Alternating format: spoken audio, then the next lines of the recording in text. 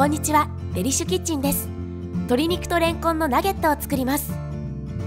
レンコン 200g 酢小さじ1を用意し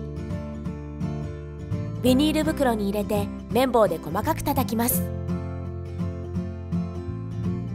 鶏ひき肉 200g 卵1個。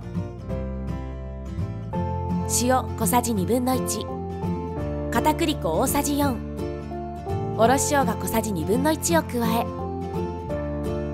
粘りが出るまで揉み込みます。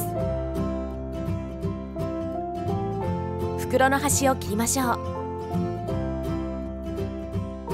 フライパンにサラダ油大さじ3を入れ熱して肉種を一口大に絞り出します。中火でこんがりと焼き色がつくまで5分ほど焼きましょう。肉に火が通ったら完成です。ケチャップを添えてお召し上がりください。